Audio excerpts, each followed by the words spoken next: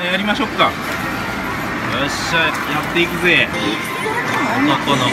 男には厳しいぜ。年齢年齢選ぶんだね。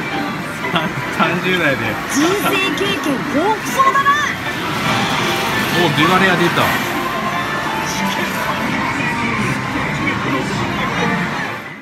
はい、どうもどうもどうも、皆さん、こんにちは、ムイケンです。えー、ではね、えー、早速ね、ドラクエの、えー、まあ、あの、あれですね、バトルスキャナーちょっとね、えー、見てきたんで、えー、まあ、ちょっとね、えー、紹介したいなと思います。えー、この後にね、まあ、ゲーセンの遊んでる風景とかね、お見せしたいんですけど、まあ、それ最初見てもね、仕方ないんでね、まあ、戦利品ね、でね、今回簡単に言うとね、この QR コードがあるんですけど、これをね、まあ、この QR コード結構大事で、スキャンしてね、これをね、え、まあ、あの持っていくと。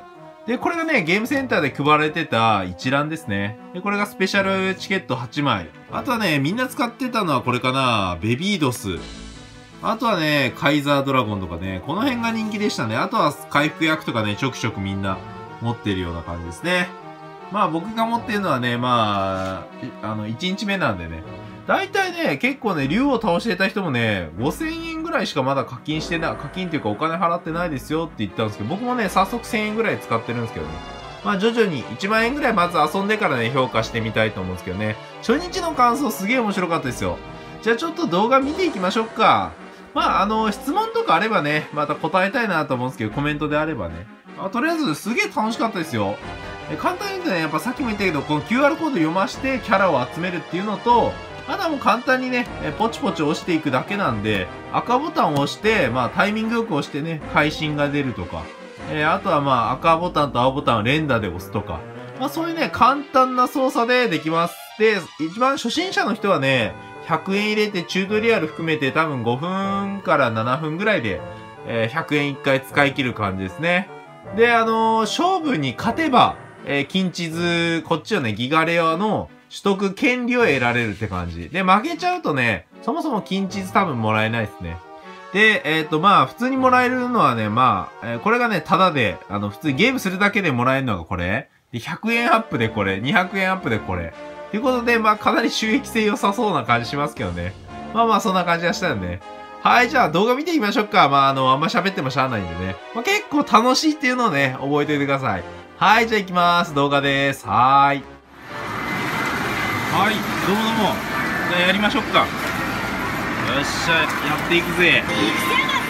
なんかあんま引っ張れないですね。新しく始める時はプレイヤー登録するプレイヤー登録しましょう。で、自分のコードを忘れちゃマスターなんかね、あんまルールがね、分かってないけどね。男の子。男には厳しいぜ何これ？名前を教えてくれよなこれってレバーで、レバーで選ぶんだ。おいお前じゃねえかこれ年齢、年齢選ぶんだね。30代で。人生経験豊富そうだないいね。最後っしゃ大体分かったぜこれからよろしくな来てくれたなあんま引っ張れないんだよ、これね。コードがね。どの拠点でクエストを受ける？行きたい拠点も初めてならはい、初めてなんでね。はい結構画面近づけないといけないね。はい、じゃあ、最初なんで勝てるでしょうね。まあ、スマホ版って感じだろうね。はい、じゃあまあ最初の手の洞窟からね、やっていきましょうか。こんな感じで、なんか、すごいね、なんか進んでるの。楽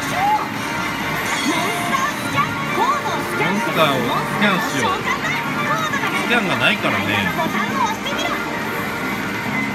ボタンを押せ、ここボタン押せだって。いないからね、タホドラキーが出てきたね。で、ないから、ここ押していくんだね。ない場合はボタン押せばいいんだ。で、これで OK。バトルスタート。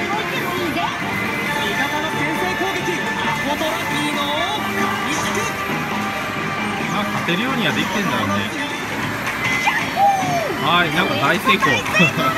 まあまあ初回なんでね。こんな感じなんだね。はい。スコアなんだ。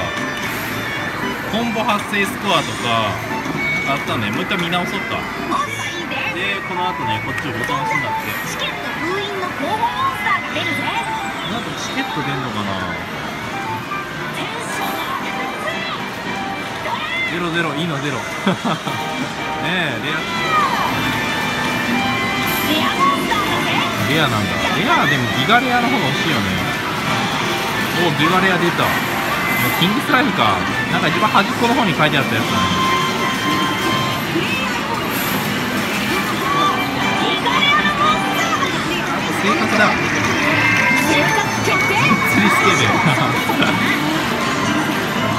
オッケー、ギガレアまあ1枚あれば、まあまあ、竜王が良かったけどね。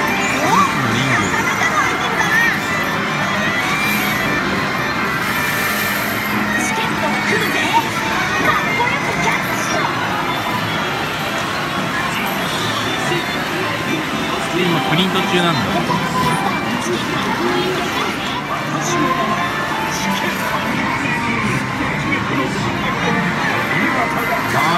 はーい、じゃあ出てきたね。ここでプリンティングするんだね。すごいね。はい、じゃあ、仕組み的には普通に単発でいこうかね。はい。はい。あら、これ例じゃない感じだね、すでにね。はい。じゃあ、これでスキャンすればいいの。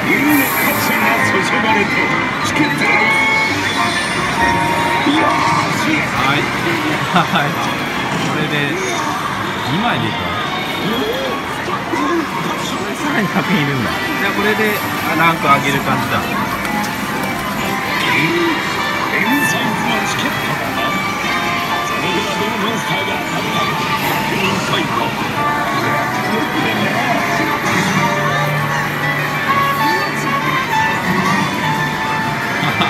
全然だって、さっきのメイジキメラ出てきたね。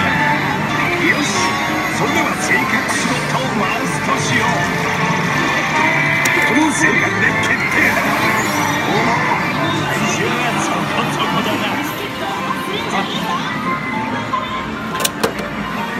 いじゃあこの2枚だね今回ね。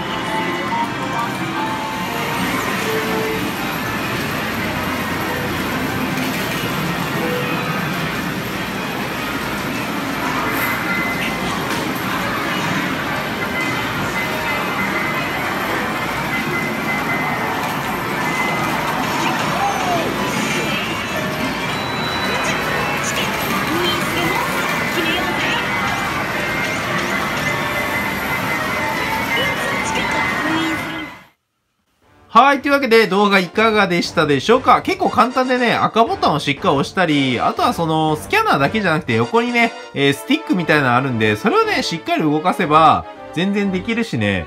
なんかまあ、簡単操作だよね。やっぱ小学生、中学生でもできるような、あの、レベルだと思います。あこういってね、キャラを、あの、集めていって使っていくような感じになりますね。多分ね、このキャラとかね、そのうちトレードとかしてね、えーやっていくかもしれないですけどね、交換とかね、あるとは思うんですけどね。まあ、その辺もおいおい見ていこうかなと。面白そうですね、これね。ゲーセン行くたびにね、ちょっとやってみようかなと。まあ、子供がね、えいたらちょっとやらないですけど、あのね、タイミング良ければやろうかなと思いますね。